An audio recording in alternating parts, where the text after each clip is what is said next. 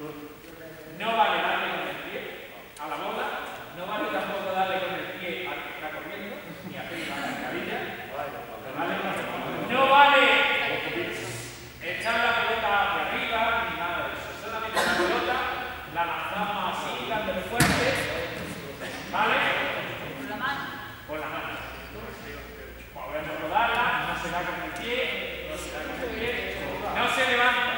Que vaya más o menos puede levantar un poco si te damos, pero no levanta, ¿vale?